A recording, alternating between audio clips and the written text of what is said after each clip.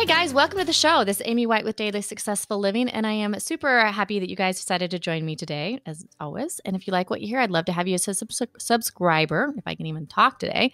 Today, I have got a guest that I'm super excited to interview. I've been following her on YouTube for probably about a year or so, and she's got some awesome, awesome stuff on budgeting, getting out of debt, just organizing, which, as you guys know, organizing, I always need help with that one.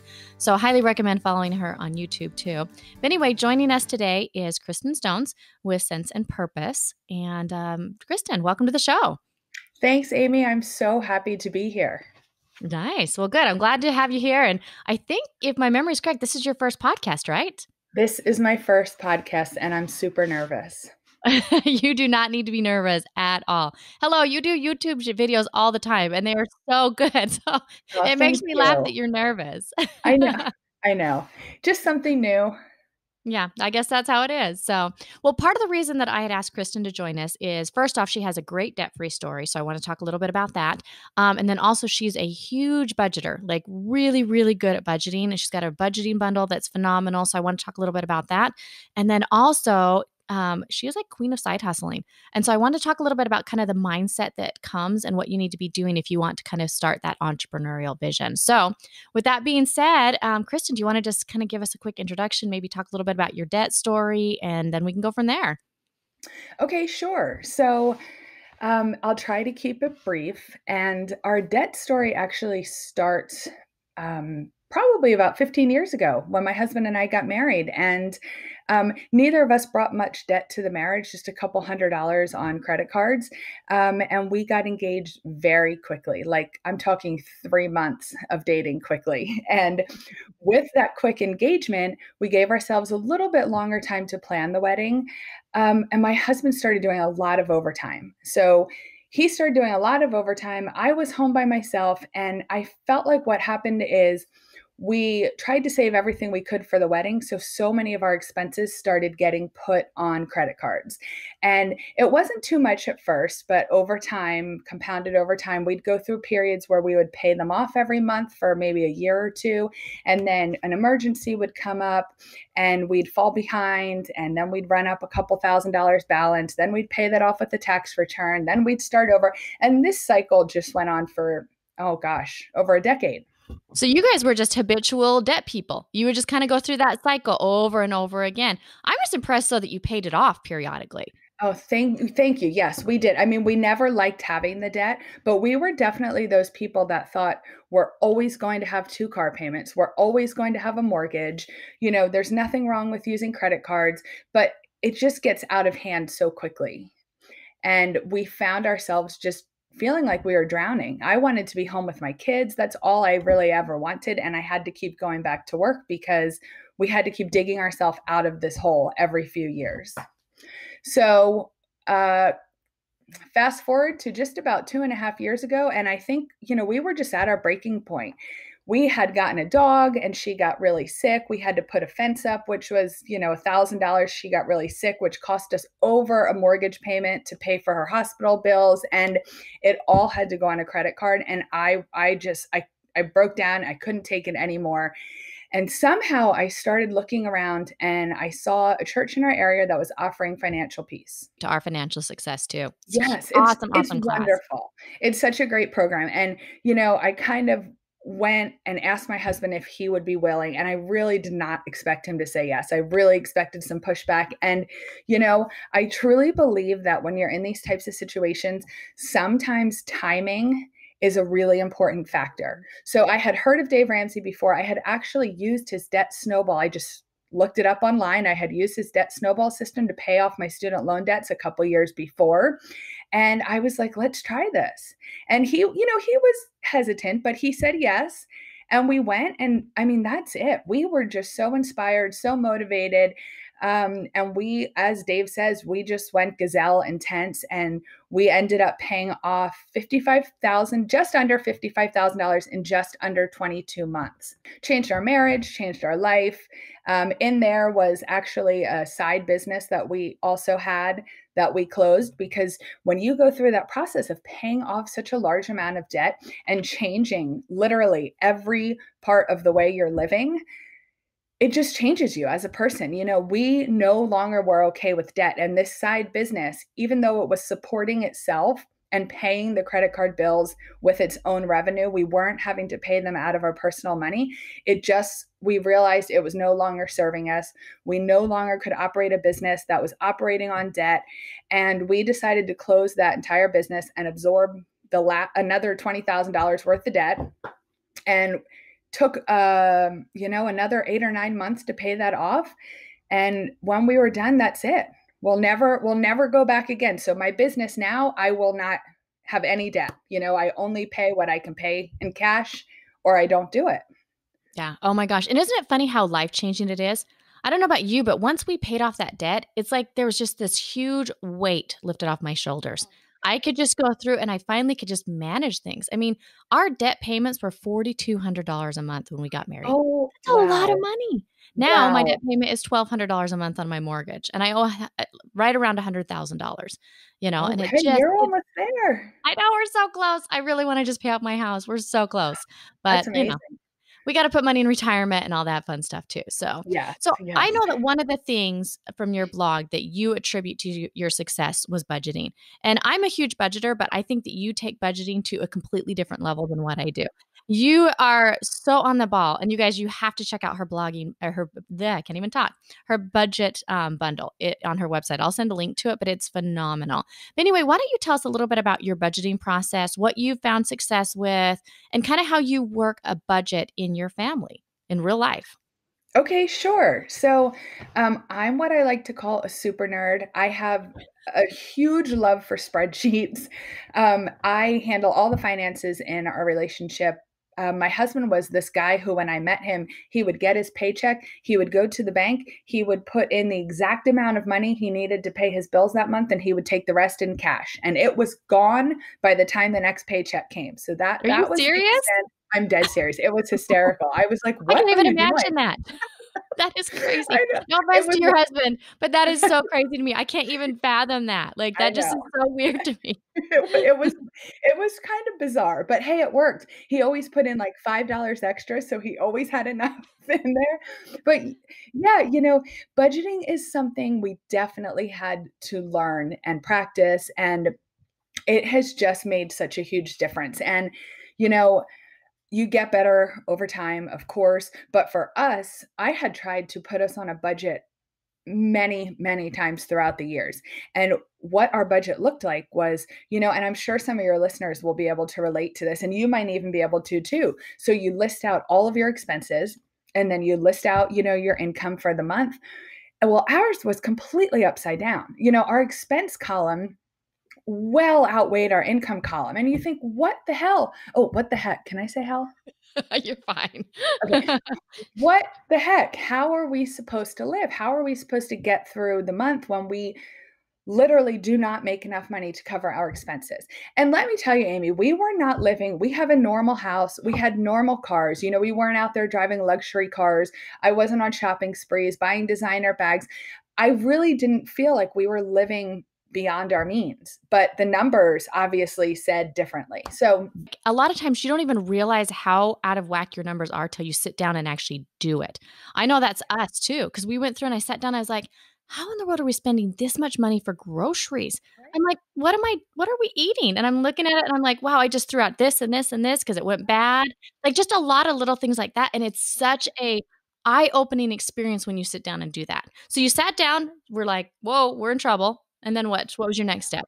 So, you know, every time that overwhelm would just wash over us and we'd try to make it work for a month or two and it would just fall by the wayside because it was just hard. It was so hard. So this time, you know, we we knew what we had to do and it really wasn't quitting was not an option for us anymore or I think we probably would have found ourselves in you know our divorce attorney's office at some point. So, you know, this was it for us. It was do or die. And we sat down, we made it work. The number one thing was we had to stop using the credit cards because, you know, you use the credit cards to bridge that gap from the month until the next money comes in and then you pay that off, etc. So it's like that vicious cycle. And the problem is we, most people don't pay it off. You know, Correct. they'll use yeah. it as a bridge and then they end up over like $500 and then the next month it's a thousand and then it goes down to 500, but it always stays over and you can never quite catch up. It does, and that and that's the danger. You know, credit cards themselves, there's nothing wrong with them. It's us and it's our poor habits and our poor man- money management skills to be able to stay on top of it. And that's exactly where we were. So, you know, like I said, it wasn't an option. We sat down and the first thing we did was we cut every single possible thing we could cut. You know, we cut cable and we cut the fluff and we cut, we didn't, we've never been one to go out to eat too much, but, you know, we cut those trips to Chipotle. We can't afford the guac, you know, so it was, it was really just cutting out anything that was not a necessity at this point. And you just touched on it a minute ago, but one of the biggest expenses was food, just going to the grocery store. And you're right, most people have no idea. So, a great first step is to really take at least a couple weeks better yet, a month and track your expenses, every single thing you're spending, because most people have no idea. If you ask somebody, what do you think you spend on food a month? They probably say, oh, four or five hundred dollars when in reality it's probably more like eight or nine hundred dollars. So it's very eye-opening and it really shows you where you can start to trim the fat and start making substantial changes that will impact those numbers yeah, I do definitely agree with that. You have to be able to know where your spending is before you can actually start cutting it. So at this point, you guys have gone through and you've you've cut the basics. You know, like you said, you cut cable. You're like, okay, we're going to start doing. I'm assuming you did a lot of meal planning based on some of the stuff I've seen on your website. Yeah. And all. So once you did that initial, I know for us, we did our initial round, and then like two or three months in, I was like, I can cut more. Did you guys end up doing the same thing? Yes, because you're so right. Because it it becomes like addicting. It almost yes, becomes a game. like a game. Yes, like a game, and you're you're thinking, okay, I just cut that, and here's the thing: you see progress. So that progress, you know, begets progress, and it it makes you want it more and more. So you're like, okay, what else can we do? What else can we do?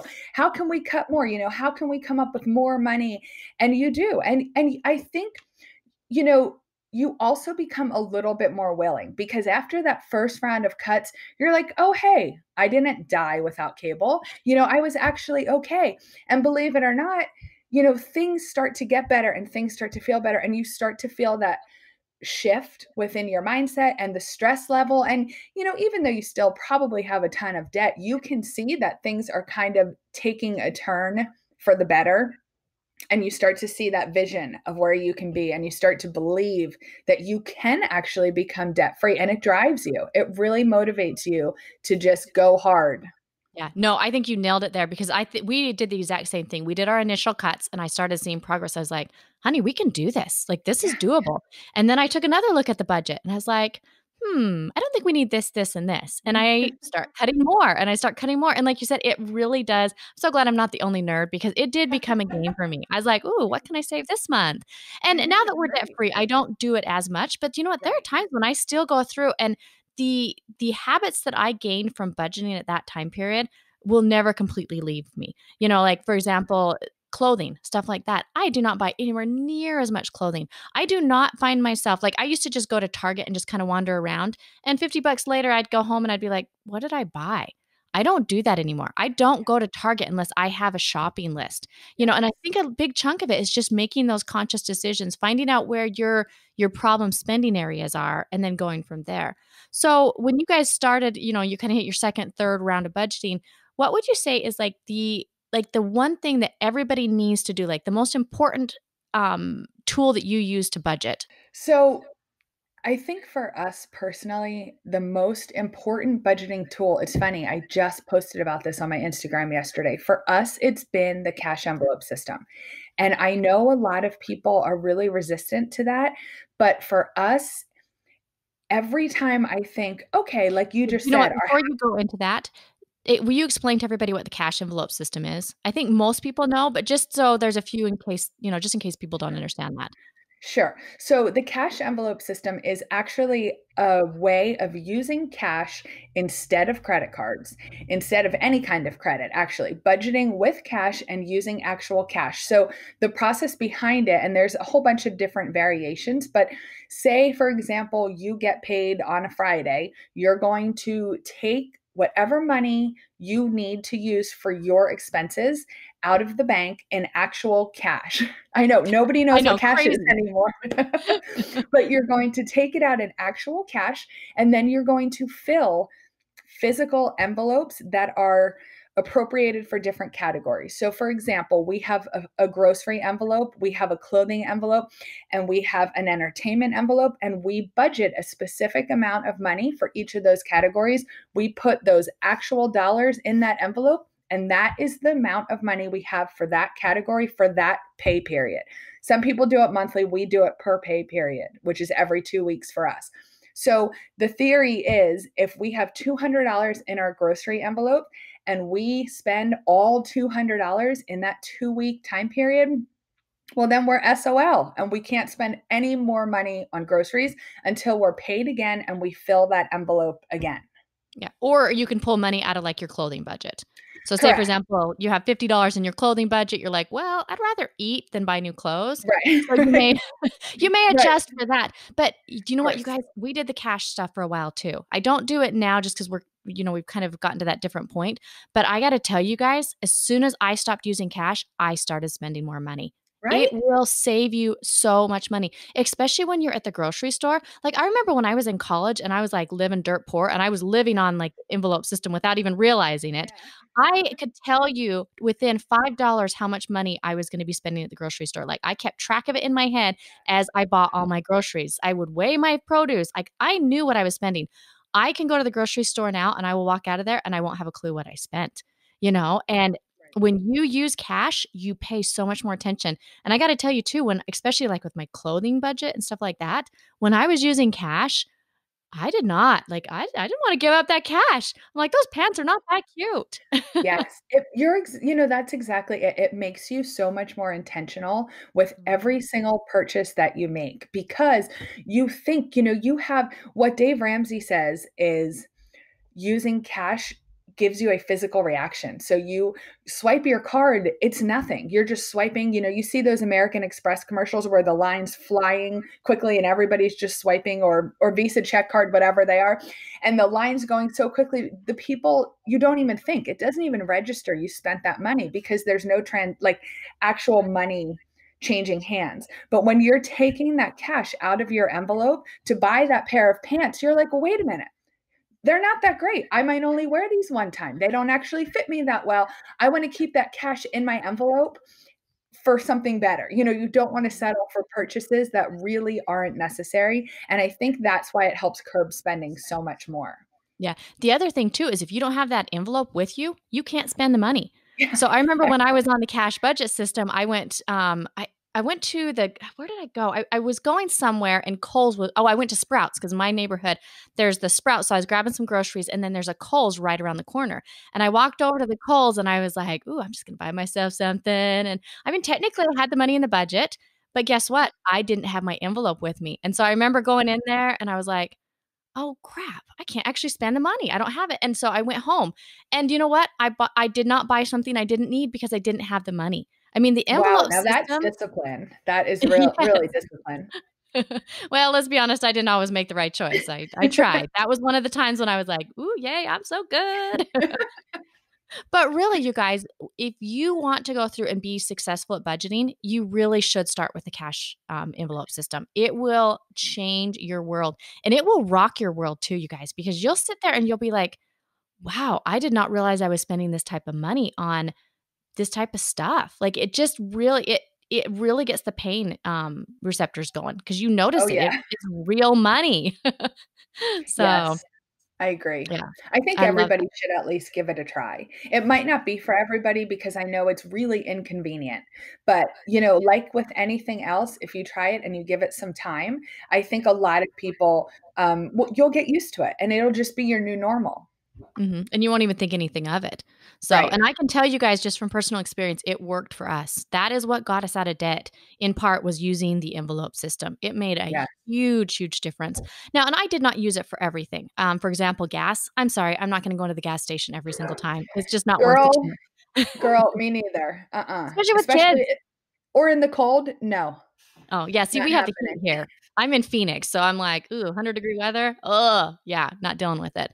You know, and so you have to do it judiciously. You you need to kind of find and you know, I think that's the point that I want to make with this whole budgeting discussion is you have to find what works for you. I mean, for example, what, back then we were using the cash envelope system. We did zero-based budgeting, which is where you pre-spend every dollar um, now that my budget is a little bit more free, I use a percentage based budget. So, for example, for us, all of our needs, meaning like the you know like my um my insurance, my home mortgage, all that, we spend 50% of our income on that. And then I have 30% of my income on my wants. So that's kind of the extras. And for me, that actually includes like extra groceries. So I consider my needs my basic groceries, but if I want to go through and have ribeye steaks one one night, then I consider that a want, not a need. So it comes out of that 30%.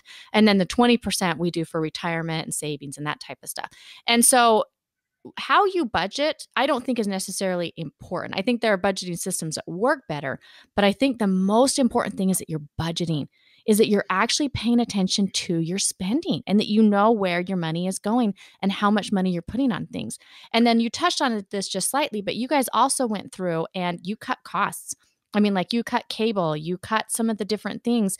And I think that's a big thing too. I mean, I know for us, we cut eating out. We cut, we didn't actually have cable, so I didn't have to cut that one, but I did decrease like our cell phone plans and just all those little things. I also went through and I looked at all of our insurances. Yes, and, that's you know, contact. One. Yeah, that's a big one. There's a lot of little things that you can do to really um, save yourself some money. You know, it's just a matter. It really is. Yeah, it's just like you said, it's just a matter of really taking the time and kind of audit all of your finances as a whole, every area of your finances. And I guarantee you, you will find savings, like you said, especially with insurance. Yeah. I totally agree with that. Meal planning, things like that. I mean, there's so much to do. Um, I will go through and make sure and link to a couple of the budgeting um, posts that Kirsten has on her website. She's got some really good ones, including like some meal planning and maybe some of her YouTube videos as well. So let's kind of move on a little bit because one of the other reasons that I want, really want to talk to Kirsten is because she is huge entrepreneur and she loves the whole side hustle concept. And that was one of the big things that they were able to do is create extra revenue streams so that they could go through and make some of the changes they needed to financially. So, why don't you share with us just a little bit about kind of like that entrepreneurial mindset and ways that you can go through and kind of start looking at the opportunities you have in your current life to maybe make a little bit of extra money? Okay. So, for me personally, I have always had an entrepreneurial mindset. Um, I think when I was younger, I didn't really know what that was or what it was called. I just knew I felt a certain way, and I just knew I always wanted to do something for myself. And I just knew that I hated working for other people. I was a good worker. I was I always excelled at any job that I did, but I switched jobs often because I I I wouldn't like them. I just never could find something that I loved long term. And I always swore that when I was little and I saw my father miserable and mm. working three jobs, hating every single one, bringing that home each night, I always swore that I would never ever live like that. So, you know, life is so short and we have so much opportunity. We live in such a unique time where you can literally earn money doing anything. anything oh my gosh. So true. You right? Anything that you love, anything you have a passion for, anything you have an interest, any hobby, if you look hard enough, you can pretty much find a way to monetize anything. So this has been just such a struggle for me through our entire marriage. Everybody in my uh my stepfather's side of the family, every single person owns their own business. And when my mom married my stepdad, I thought, this is so crazy. Like, why do all these people own their own business? You know, I didn't realize there was an option pretty much other than going to work um, the same place for 30 years, working eight hour days. I just didn't know there was anything else. So, you know, when this whole world of entrepreneurship opened in front of my eyes, I was like, that's it. That's what I'm going to do. So I've tried it all. You know, I tried network marketing, fail. Um, we tried um, selling on Amazon, FBA, which was the business I was speaking of that put us $20,000 in debt, fail. Um, I tried blogging a couple years ago, fail. You know, and all of these, I made a little bit of money, but you know, I was kind of looking for this big win. I was kind of looking for, you know, the easy way to make a lot of money on the side and pay off this debt and become, you know, financially free, but there is just no easy way. So that's really what I what I found. So when we were starting to pay off this debt, I right before then, I had said to my husband, I told you when we kind of reached that breaking point, I was home at that time with my kids and I was doing the network marketing thing and I was doing the Amazon FBA thing and I was just working hard, biding my time and thinking, okay, this is going to take some time, but it's really going to pay off. Well, it didn't pay off at all. It just, it was not a success. So I finally said to him one day, I have to get a job. That's it. And he was like, okay. And I looked online and I found a job pretty much the next day, went to work, now, it was only part time, but what it did is it allowed us, number one, to have the extra income to to really throw towards debt. So that made a huge difference in our timeline. And number two, since it was only part time, it, it really did allow me to kind of pursue other avenues. So for me, I was so inspired and feeling so empowered by this journey and I felt so blessed. I felt like we had received so many blessings along the way of paying off this debt. Literally felt like money was just falling into our laps.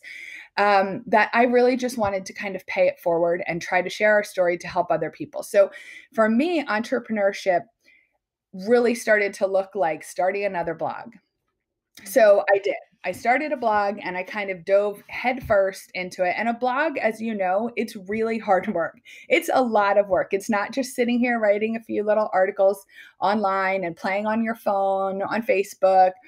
Uh, that's what people think blogging is. But they have such misconceptions that and podcasting and YouTube and even Instagram influencers. They think it's such easy work. And I'm like, no, if you're trying to make some quick money, really, these are not the areas to go into it. You're, There's much better so ways to make quick money. You're so right. So, you know, I started that. And then along with that, I also tried the kind of selling the clothes online and, you know, really purging our house and selling things on fake Facebook marketplace. And, you know, you can make money, like I said, doing anything. And I think um, it's not necessarily entrepreneurship, just selling your old crap on Facebook marketplace, but it gives you a taste of how you can be at home and do things from your phone or from your living room and start making money.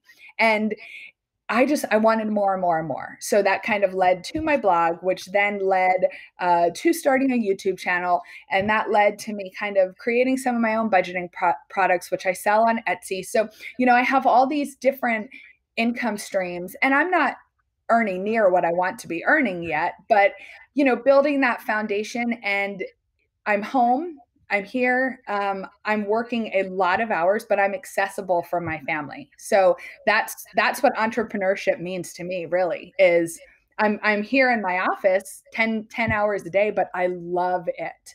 I love it, and I'm building something for myself and for my family. Yeah, I think you nailed it right there. And I think that it's really important for um, our listeners to realize too that entrepreneurship, side hustles, it looks different for everybody. You know, I mean, for example, I've got friends that just go through and tutor. They I've got friends that teach music on the side. All those things are a form of entrepreneurship and they're a great way to go through and just bring in a little bit of extra income. And sometimes that extra income is all it takes to be able to stay at home with your kids or to be able to you know, take a vacation or to buy the boat you want or something like that. And you know, I think sometimes um particularly as women, we kind of we feel like we're channeled one way and we have to either be at home or we have to have a full-time job. And i i'm here to tell you it doesn't need to be that way. I mean first off i work part-time very flexible schedule. And then I have my blog and my podcast and all that on the side.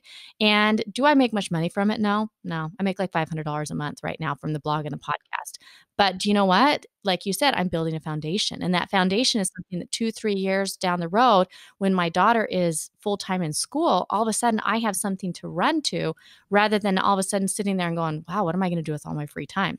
Not that I have right. much of it right now. right. But you're building so. that foundation that in a couple years, when your time starts increasing, you can scale. I mean, you can now take take what you've built and you know really scale it up and and make a big difference in your bottom line. You're also able to help people you know and i think that's a big chunk of it too at least for me when i started my blog is i just wanted to be able to help people i'm like you know what i've accomplished something pretty awesome i want to help and share that with people so I, I think what I'm what I want people to understand, what I want the listeners to understand is that if you want to earn a little bit of extra money to help yourself get into a better financial situation, there are ways to do it. And I would say that the number one step is you need to sit down and look at your current skills.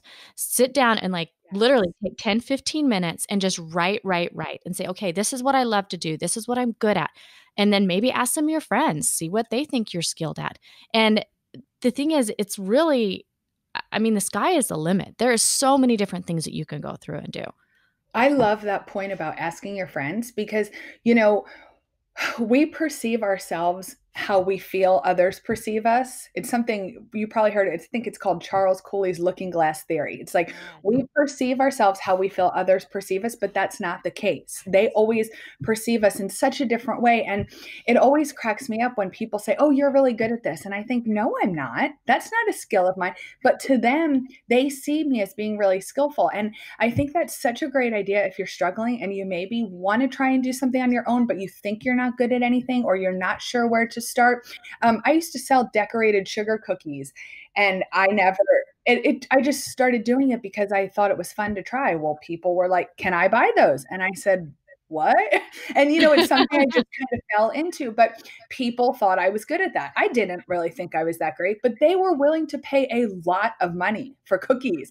So that's something I did for a while, earning some money on the side. And you know, I love your idea about making a list because building a business is really hard work. So even if you're not looking to build a business, but maybe you just want to earn some money on the side to pay off debt, if you can do that by doing something that you already love and you already enjoy, you're going to be able to put more time into it. Um, you're going to probably earn a lot more money because you're going to enjoy what you're doing. You're going to be more efficient. And nowadays, with the apps and the websites, there are so many ways out there and so many. You can shop for people, you can transcribe for I mean you can do anything. And it's it's just such a great opportunity right now. Oh my gosh, I think you are so right. Like my niece, she was living with us for a couple weeks in between a school semester, and she just went through and um, delivered food for Postmates. And I mean, she made a decent amount of money. I've got a nephew who goes through and um, drives for Uber. And then I've got one of my neighbors who literally just put a little thing up on Facebook. She's like, Hey, I know it's Easter. Um, I'm selling cinnamon rolls. Uh, they were $20 for a dozen of them. Uh, hello, I ordered two dozen because how awesome is that? But I mean, I don't know exactly what she made, but just based on the orders on there, she had to have made you know a thousand dollars just for making a whole bunch of cinnamon rolls. Don't get me wrong, I have no desire to make cinnamon rolls. I think that's a form of torture there are a lot of different things that you can do to earn a little bit of extra money. And none of these need to turn into a business. But if you are trying to get out of debt, one of the biggest and quickest ways to get out of debt is to increase your income. And if you can go through and do something on the side that's going to make you an extra 500 or an extra $1000, all of a sudden think about what that does to get you out of debt. And think about what that will do in the future as you're trying to go through and pay for your kids' dance lessons or as you're trying to plan for retirement. I mean, like, I'm a huge fan of retirement. And honestly, most of the money that I make from this blog, if it doesn't get, you know, recycled back in, I put that towards retirement. That's just my extra little money. And so I think a big chunk of it is just looking for opportunities and seeing what is out there. And you know, you mentioned it. You had a couple of unsuccessful ones. I actually had an unsuccessful um, eBay business. We lost fifty five thousand dollars on that stupid business. Oh, you know, wow. I mean, so I know it was horrible. Uh, oh. I'll link to this. I'll link to that story too. I've got it. I, of course, I wrote it up on my oh, blog. Man. It was so bad. It was oh, stupid, stupid, stupid. But anyway, yes, you can potentially lose money. But if you're starting out small and if you are really paying attention and not putting yourself into debt to do it, there's a lot of little things you can do. And then gradually, if it becomes something that you love, you can turn it into a business, and it will help support you later. And yeah. I really think that when it comes down to it, that's what that's what we're all looking for is is flexibility and freedom. Absolutely. And just get out there and try something. I mean, maybe you won't like it. That's okay. There's so many other op- options and opportunities, it doesn't matter if you don't like it. You can just try. It's not a job, you know, so you're not going through the hiring process and uh, being trained and taking this position and getting insurance. And, you know, it's just a side hustle. It's just earning some extra money. So if you don't like shopping for somebody or driving for Uber, try something else. And if you find something that you love, then yeah, it, it has the potential to really turn into something different. And, you know, I think if somebody does have that interest in entrepreneurship, a really strong common thread between entrepreneurs is risk taking. you know so that that probably lends itself to me losing 20 grand on amazon fba and you losing 55000 or on ebay because you're willing to take that risk and you're willing to fail and yeah it totally sucks to fail of course nobody wants to fail but now you know you know you take lessons from that failure and you can apply them towards your next venture or your next opportunity and it it really does make make such an impact in your life and your business yeah, it's interesting. I was interviewing um, Cody Berman with um, Fly to Fly to Fi um, a couple days ago, and he talked. You need to check out his po- his uh, uh, podcast interview because he talked extensively about that and how you have to get over your fear of failure if you want to be successful. Like you have to just take a chance. And you know what, you guys, I'm going to be blunt. You're probably going to lose some money here and there if you are trying to do an entrepreneur. You, uh, let, let me not just say probably. You will yeah. at some point lose some money on an entrepreneurial venture. Yeah and that's okay. You know, the main thing is that you go in there with your eyes wide open and you just do your best. Like I really Yeah, and fail fail fast. I yeah. mean, fail fast, fail forward and you know, that's eventually something's going to stick and you're going to find something where you have passion and you're you're going to become successful. And you know, with each failure, um, the faster you fail, the faster you're going to find that success. oh my gosh, I think you nailed it right there too. You know, and I, I actually I do want to highlight what she just said there, you guys, because I think that's really true. The faster you fail, the faster you're going to find your success.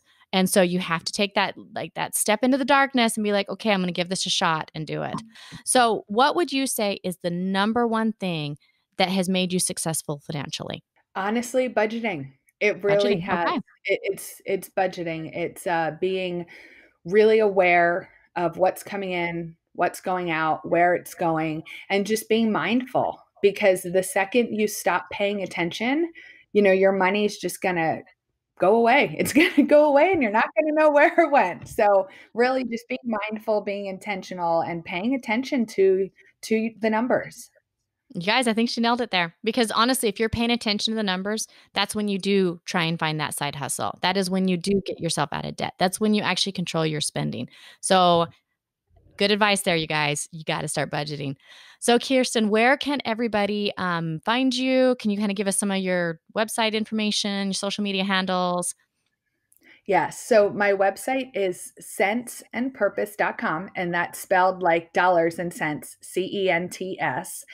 And that's all my social handles as well. So you can find me on Facebook, Instagram, Twitter, Pinterest, everything is at Cents and Purpose.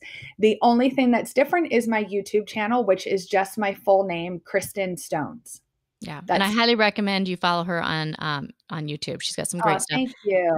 Anytime. Thank you. And her Instagram is really good too. She provides some really helpful stuff on there. So thank you for joining us today, Kristin. I really appreciate it. I hope you had a good time, and um, thanks again for joining us. Thank you guys for joining us. If you like what you hear, we would love to have you subscribe and uh, enjoy the show. Thank you.